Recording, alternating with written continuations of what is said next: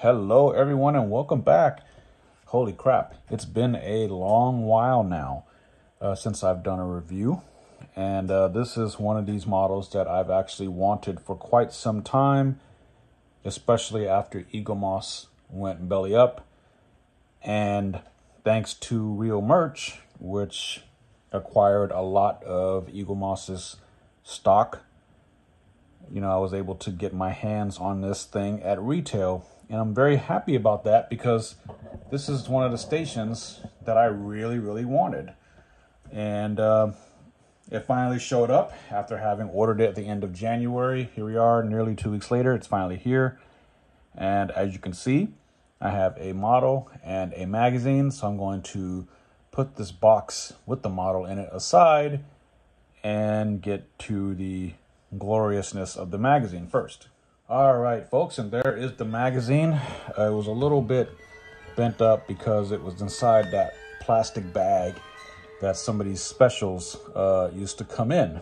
So I had to get it out and kind of straighten it out. But nevertheless, the Regula One special issue with a nice CG rendering of the station on the cover there. Looks pretty good. Uh, with some basic information down at the bottom. Now, most people think of this as Regula One.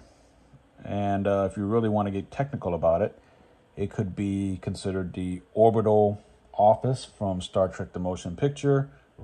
And even though it's probably more famous because of Regula One, I like to think of it as Starbase 375 because I'm a big Deep Space Nine fan, or Starbase, I think it was 257, also on Deep Space Nine. And it's appeared in various guises on The Next Generation. I think that's about it. So yeah, uh, it's considered a research station, active in 2285, and of course, the Genesis project was developed and perfected here, and under the command of Carol Marcus. Turn the page, and like every Eaglemoss magazine before this, the format remains the same, with how to attach it to the stand, which should be interesting once I get it out of the box and uh, a little bit more information is here. Actually, all that information is repeated from the front cover, so I'm going to skip that and dive right into it. And we have a couple of paragraphs on the station itself and its use with a nice CG rendering, which I think is a repeat of the one on the cover. This one is just at an angle.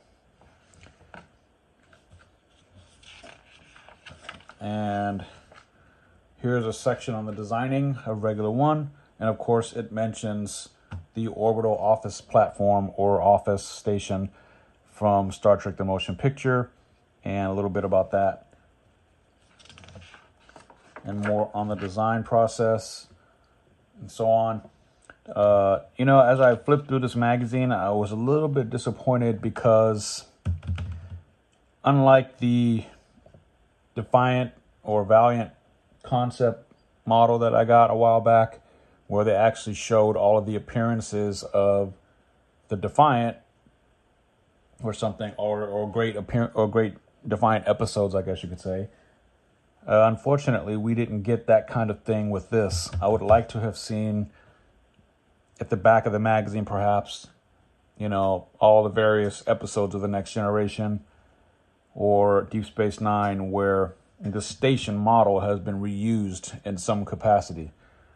But anyway, uh, so yeah, you get get some cool images of the original studio model and a lot of text about it. And then the last section of the magazine, which I often call or often used to call the uh, magazine filler.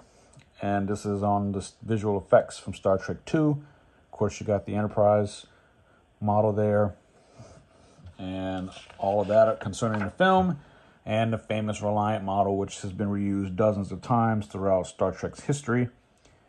And some concept artwork there, and more lots of text, matte paintings, things like that.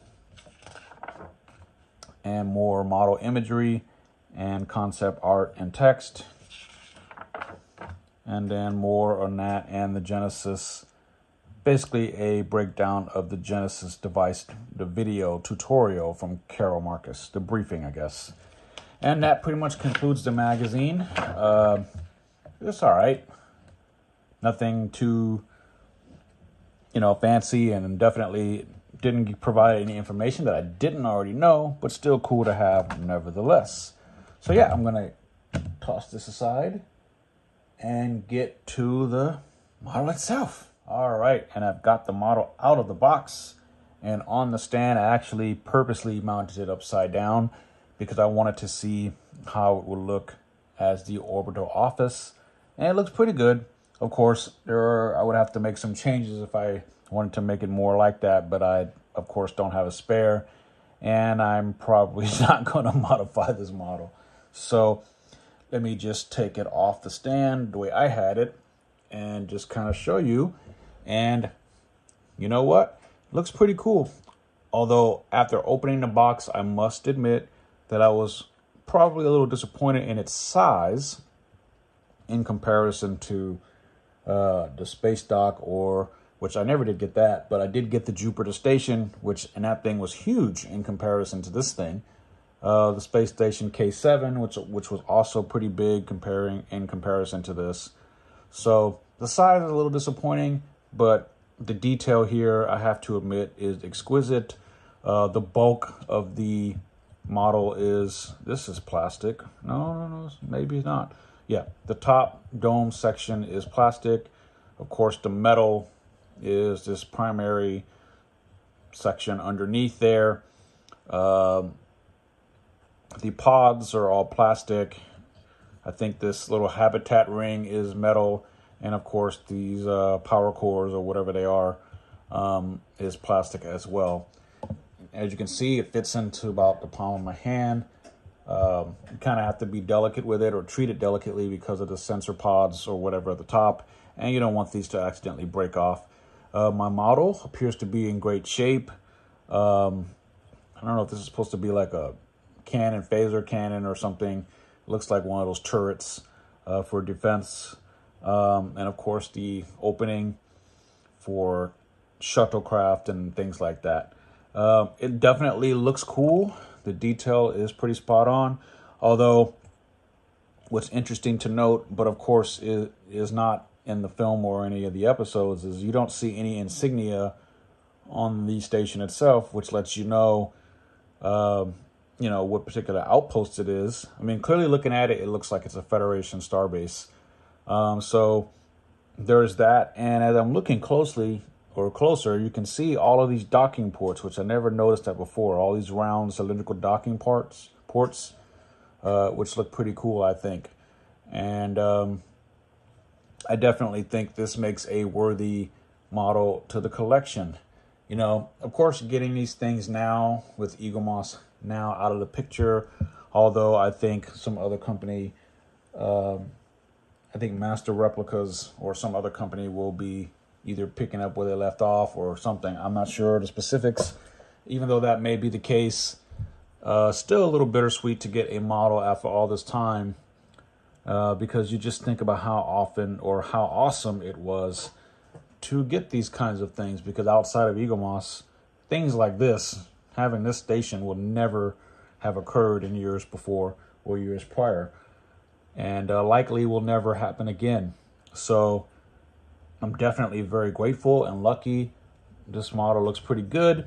Quality looks uh, pretty good. Maybe a little basic as far as the paint goes, but then again, that's how it looked on screen. And um, of course, in the, in the, movie, we saw it orbiting kind of like that or floating by just barely. Um, yeah, it looks good. My model doesn't appear bent, nothing broken.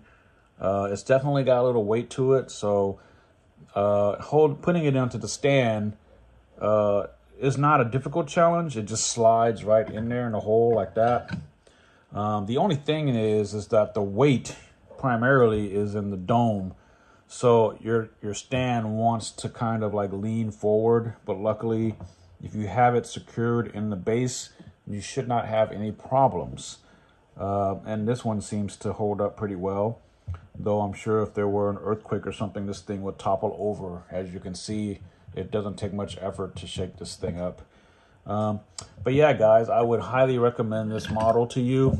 on Real Merch's website. It'll run you back about $35, $36, maybe a little, obviously a little bit more with the shipping. Uh, maybe you can catch a discount. If you're interested in getting this model or any others that are still available on there, you might want to you might want to jump on it because uh, these things are disappearing pretty fast because people like me are seeing it as an opportunity to perhaps fill in gaps or holes in their collections or just to get specific ships that they wanted for whatever reason. And uh, rather than, you know, break the bank, I just wanted to get the station and I've always wanted it. And now was the time, so I did it. So, yeah, folks, if you have any questions about it, of course, or comments, drop me a line down below. I'll be happy to respond and or answer whenever I see it or can. Um, this one is definitely worth your bucks or pounds or what have you uh, to get this model to add to your collection. Um, and now that I think about it, I did see a video online somewhere where somebody was able to plop this off, take this off, flip it upside down so that it looks like the orbital office and then, you know, display it. Um, I might have to look that up. But yeah, this is definitely one worth, you know, your time and effort. And uh, so definitely recommend it there. And if, you know, yeah, this thing is great. No window misalignment. Oh, actually, yes, there is. Oh, interesting. So the window misalignment strikes again. This time for old time's sake. so yeah, guys, until next time, live long and prosper. Be safe out there. A lot of craziness out there in this world right now. Um, and yeah, so this is kind of cool. Definitely go and get it if you can. If you don't already have it, I'm new to this particular station, so I'm definitely glad to have it now. Um, and many of you will know that I'm harshly critical of Star Trek Picard or any of modern Star Trek, but I have to tell you, so far, season three is pretty good. I have seen the first few episodes and I'm pleasantly surprised. Of course, it's still a little too dark for my taste, but um, you know, I can see it feels like Star Trek, but it's like going home again, but only for a short while. So, yeah, guys, until next time, take care of yourselves, and I'll talk to you later.